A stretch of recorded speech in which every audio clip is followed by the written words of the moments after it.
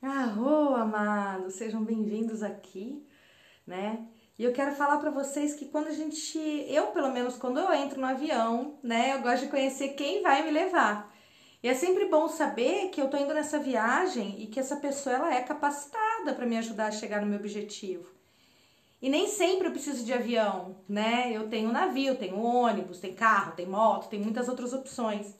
Às vezes eu posso demorar um pouquinho mais, né? Como eu posso mais rápida, mas depende do veículo que eu vou escolher e se a pessoa que está conduzindo o veículo é de fato preparada para isso. Então eu venho me apresentar para você, né? E aí você vê depois de tudo que eu colocar aqui, né? Se sente -se a segurança para eu conseguir te orientar, te direcionar a o que você está procurando aqui, né? Então, eu tô aqui nessa existência como Malu Martinelli, mulher, mãe, né? Mulher, esposa, mãe de três preciosidades, duas meninas e um menino. Tive dois casamentos. É, o meu segundo casamento, eu reencontrei, né, nessa vida, o meu marido maravilhoso, Luciano. E aí tinha a Tainá e nasceu Lorena e Kaique. Todos com seis anos de diferença ainda. Meu primeiro casamento ele não foi muito bem sucedido. Né? Eu não estava preparada, não me sentia segura, não me sentia feliz, não me sentia realizada como mulher, né? Então foi então que eu me divorciei com dois anos de casado e a Tainá ainda bebê, né? Fui morar com ela em outra cidade.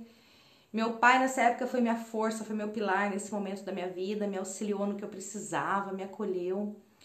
Eu fiz muitas coisas que eu tive vontade, né? Mas eu tava com a Tainá, então tinha ela na escola, aos finais de semana, né? Eu saía pra, pra me divertir com ela. Eu me permiti conhecer meus próprios limites, né? E uma coisa que eu acho muito legal, eu, eu achei que eu nunca mais fosse ter filho, nunca mais fosse casar, eu tava desacreditada, né? Mas, como eu aprendi, né, que no coração a gente não manda nada, né?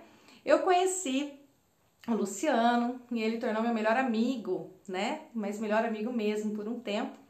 A gente era muito confidente, muito amigo, companheiro um do outro. Depois de algum tempo, foi surgindo aquele interesse, né? E hoje nós estamos juntos há 12 anos. E eu casei. E eu tive filhos novamente. E eu já alterei, né? Todo o contexto, já comecei a falando aqui do meu casamento, mas vamos voltar um pouquinho para que vocês possam entender um pouquinho né? Eu nasci no Brasil, em Campinas, uma cidadezinha do interior de São Paulo, nos anos 80. Desde muito cedo, gente, eu sempre tive muito contato com a espiritualidade. Né? Eu mesma é, via muita coisa. Eu tive uma avó maravilhosa que me mostrava e ensinava aquilo que muitos achavam besteira, loucura. Minha avó Isabel amava as plantas e ela sempre falava dos seres que viviam nas plantas, né? Das fadinhas, dos gnomos, dos duendes. E eu pequena já me identificava muito com tudo isso, né? Com esses seres que hoje eu sei que são os elementais da natureza. E com o passar dos anos, né, eu ia aprendendo, sentindo o plano espiritual, eu ouvia, né, mas eu não sabia exatamente o que, que era. Muitos eu, eu denominava como anjos, né, e outros nem tão anjos assim. E com menos é, de 10 anos eu decidi ler um livro sobre o Ica, né? E esse universo todo, e eu não parei mais, né? Busquei muitos livros, religiões, entender tudo que eu sentia ao meu redor, sabe? Passei da Wicca para o taoísmo, budismo, evangélica, espiritismo, umbanda. E agora saindo desse contexto religioso, né? Eu me sinto mais presente no xamanismo. Em todo esse tempo, né, eu fiz publicidade, eu expandia muito o arquétipo criativo, né? Pois eu gosto muito de criar, desenvolver, usava muito a intuição. Eu trabalhei muito com eventos, eventos universitários, shows em grandes locais, né? E muitas vezes errei, gente, deu ruim demais, né? Porém, outras deram tão certo que apagavam tudo aquilo que havia sido ruim. Claro que nessa época eu era muito imatura, né? Eu não media as consequências, né? Eu só queria é, em frente sempre, sempre, sempre, né? Como uma boa ariana, com ascendente em Ares, às vezes fica batendo a cabeça na parede, né? Mas eu acreditava que ia acontecer, né? Quando o desejo era verdadeiro, tinha que acontecer. E também eu adorava esportes, né? Muitos esportes radicais, luta. Adorava, não, adoro, né? Gosto bastante ainda. A maioria tinha que ser muito próxima à natureza.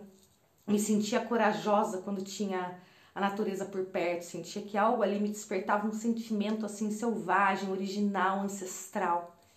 E uma coisa que eu aprendi com a minha mãe era sempre dar oportunidade, né? Tentar fazer as coisas. É... Pois só quando eu tentava fazer alguma coisa eu ia saber se dava certo ou não. Né? Então minha vida toda foi assim. Ela falava sempre assim: vai, tenta, só assim você vai saber. Mas a minha vida me levou para um caminho diferente que eu permiti. Comecei a trabalhar no meio bancário, representava muitas instituições financeiras, né? Fiquei por 15 anos nessa área, bem meio business mesmo. Me afastei do que eu era, foquei no material, naquilo que eu podia ter, ter, ter, sempre ter, né? Fiz inúmeros cursos sobre desenvolvimento financeiro, né? E a cada meta batida eu aumentava mais, mais, mais, até chegar a mais de um milhão de vendas por mês. Receber reconhecimentos e para eventos, né? Então, assim, de uma pessoa que estava conectada com, com, com a natureza, queria estar perto da natureza, de repente eu virei uma moça de negócios, né? Muito louca, muito frenética, muito imparável. Eu e minha família a gente viajava, tinha um carro bem caro, roupas caras, criança, em período integral nas melhores escolas, tudo que alguém deseja, né? Só que não. Mesmo assim, eu nunca estava bem. Buscava preencher esse vazio, sabe? Trabalhando cada vez mais, mais, mais, mais, mais. Eu não ficava com as minhas filhas, eu não tinha momentos de namoro com meu marido. Até nas viagens que fazíamos, eu não largava o celular. Nunca parava, eu chegava assim momentos de acordar no meio da noite para ir para o computador, escrever projetos de como ganhar mais, como bater mais a meta, né? Reuniões eram feitas aos domingos. E sempre aquela sensação de tristeza, ansiedade, ansiedade louca, sabe? Culpa, insatisfação. Achava que, que ia ser suprido isso uma hora, mas, mas não. Foi quando eu fiquei muito mal emocionalmente. E eu precisei buscar ajuda. E isso para mim naquela época era assim, como assim eu preciso de ajuda, né? Eu lembro que eu optei pela terapia holística, mesmo não sabendo o que era exatamente. Então aí você já vê assim que a espiritualidade estava me levando para esse caminho.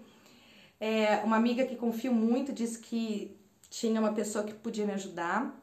E confesso que eu só fui porque ela compartilhou o que passou na vida dela e que conseguiu dar um up. Eu falei, tá, tudo bem, vai. Eu fui meio desconfiada assim, mas eu fui. E eu mal sabia que naquele momento tudo ia mudar. Aí chegando lá, tinha uma musiquinha esquisita, sabe assim, uns incensos, uns apetrechos esquisito que eu falava, tá, que isso, né? Ela, ele conversou um pouquinho comigo e me disse para deitar uma maca, fechar os olhos. Eu falei: "Ah, vou ter que fechar os olhos, ter que entregar o meu controle para alguém, né? Como assim?" E aí ele fez uma oração né? E colocou as mãos afastadas, direcionadas em mim, cantava, jogava uns sprayzinhos cheiroso, balbuciava. E, gente, eu comecei a passar muito mal. Comecei a sentir um enjoo tremendo, eu tossia e eu vomitei. Passei muito mal. Foi vergonha total. E ele todo calmo, o Adilson, me disse que aquilo era limpeza e que eu estava colocando para fora o que estava preso dentro de mim. Aí eu saí de lá com outra sessão agendada. Eu falei, caraca, né? Eu tenho que tirar essas zinhacas de dentro de mim. E nessa segunda sessão eu dormi profundamente, foi aí que a mágica aconteceu. Quando eu dormi, eu encontrei com, com seres que eram os mesmos que eu via quando era criança. E lembro que um deles me disse: agora você começa a entrar no caminho da sua vida. E eu fui novamente, e a cada vez que eu ia, me ensinavam algo. Eu me encantava com essa com essa maneira de tratar outra pessoa. Eu me sentia cada dia melhor, bem. E eu nem tomei remédio, eu pensava, como assim? Eu não tomei remédio, nada, e como assim eu tô bem? Né? Mas teve um problema no meio do caminho, né? Eu começava a trabalhar, mas pensava em tudo aquilo que estava aprendendo sobre essa espiritualidade. Eu ficava mais empolgada por esses assuntos, né? E aí eu falei, vou conciliar os dois. Por que, que não podia trabalhar e também fazer cursos para entender melhor tudo isso? Né? Isso que estava começando a fazer algo esquisitinho dentro de mim, meu coração bater mais forte, né? E eu comecei minha trajetória. Fiz primeiro um curso de reiki xamânico, depois apometria xamânica, mesa radiônica, aromaterapia, florais, plantas de poder, comandos quânticos e por aí foi. E aí eu pensava, tá, tudo bem, legal, sabe? tava expandindo. Mas para que, que eu tô fazendo isso tudo? O que, que eu vou fazer com essa informação, com tudo isso que tá me vindo? E um dia no trabalho, eu olhei para minha equipe e senti cada um deles. Pela primeira vez eu, eu vi cada um deles como pessoas e não máquina de fazer dinheiro para mim. É, gente, eu tinha essa, essa concepção, né? Então, ainda bem que a gente pode mudar, né? E me veio uma pergunta: como eu posso expandir eles, essa equipe minha, né, que tá comigo como humanos, ajudar no desenvolvimento de cada um deles e eles sentirem essa transformação? E aí eu agendei um treinamento com eles, eu sempre dava esses treinamentos, assim, nesse dia foi incrível, fiz várias dinâmicas, mas sobre cada um deles.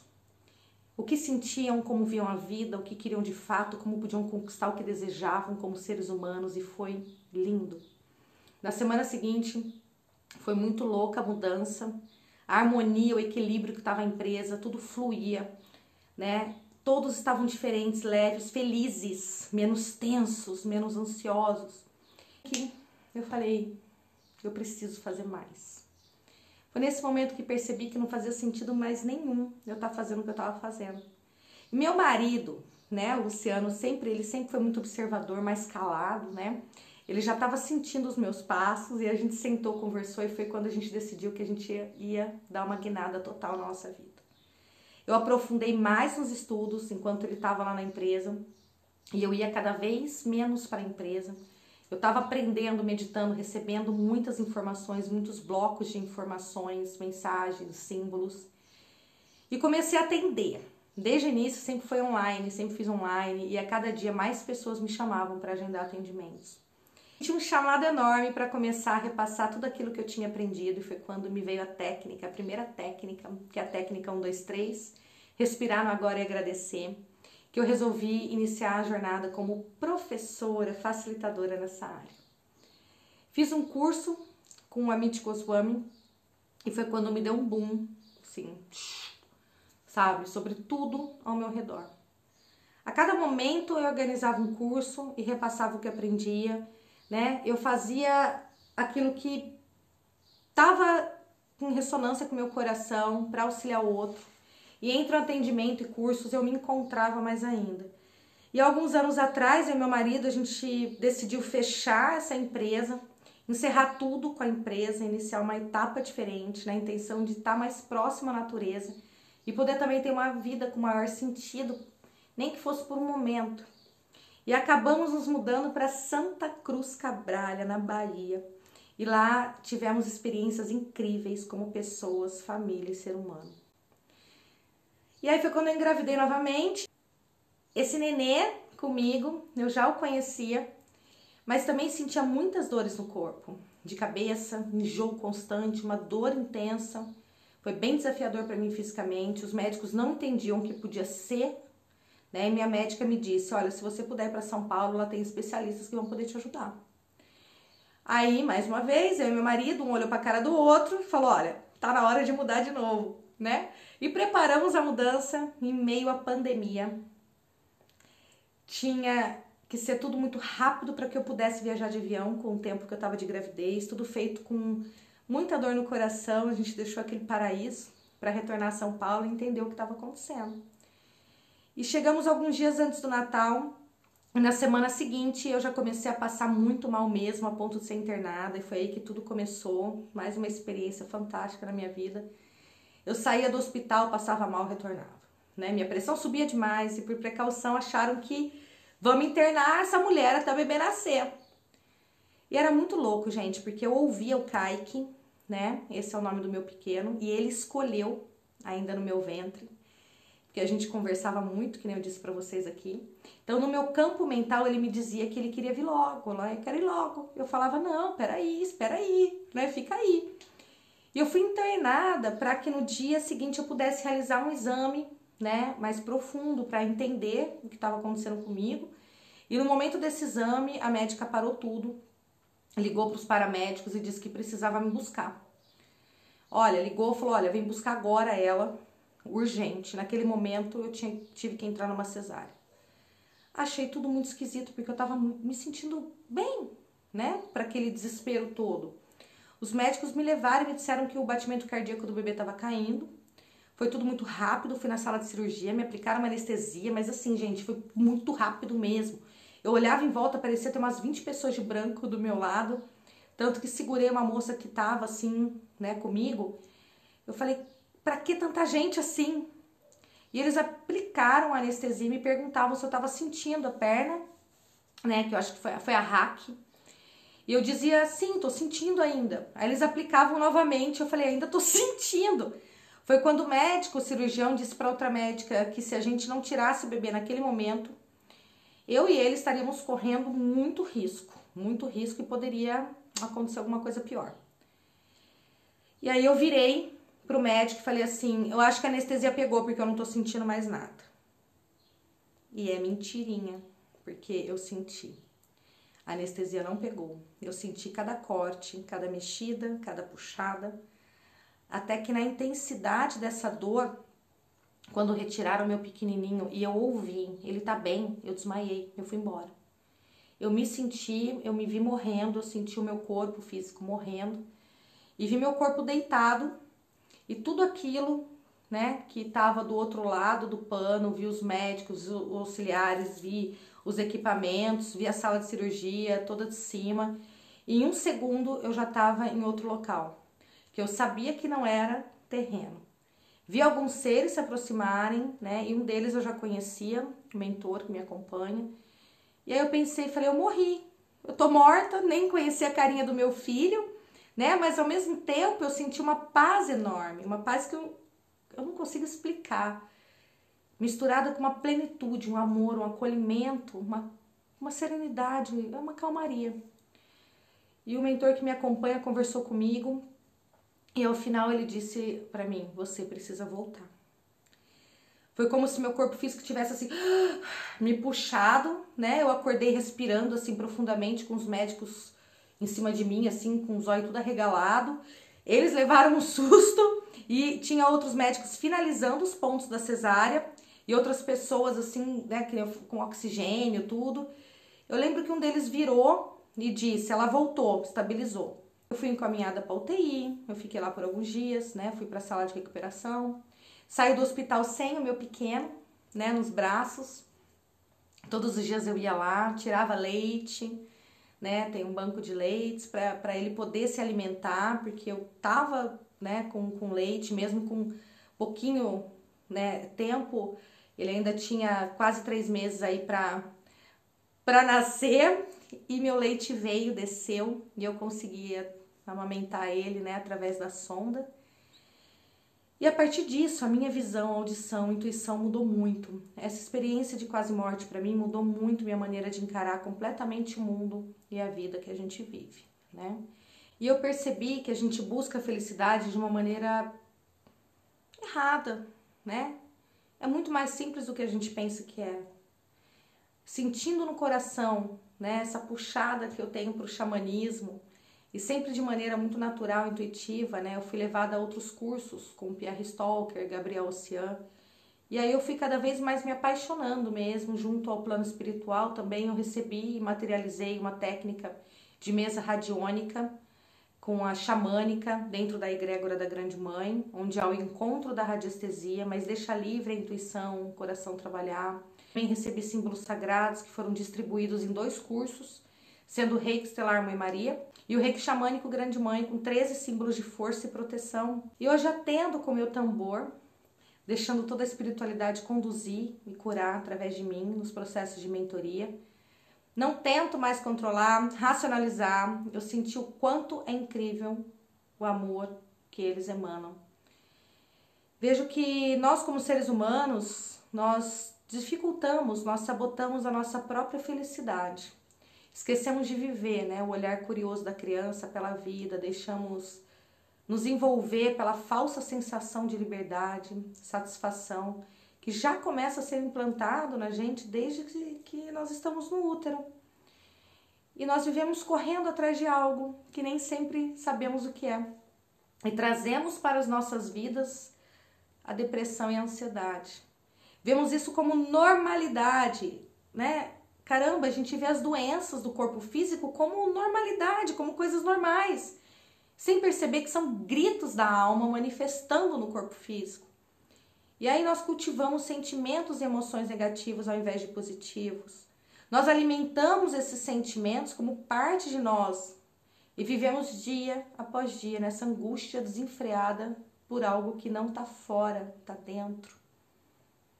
Entendo hoje que o que é visto como missão de vida é que nós possamos aprender a nos integrar, sabe? Por completo nessa terra aqui em Pachamama. Que é ser feliz, enxergando e sentindo tudo o que ela nos proporciona, que é muito.